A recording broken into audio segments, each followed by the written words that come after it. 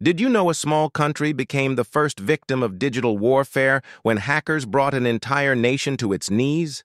In April 2007, Estonia was the world's most connected country.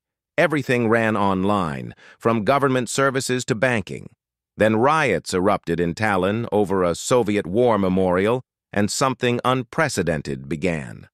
Russian hackers started with simple website defacements, mocking Estonia's digital pride. But within hours, it escalated into coordinated attacks against banks, government sites, and news outlets. For three weeks, the assault intensified.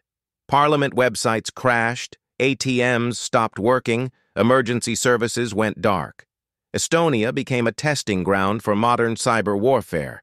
Then came the climax. The entire digital infrastructure collapsed simultaneously.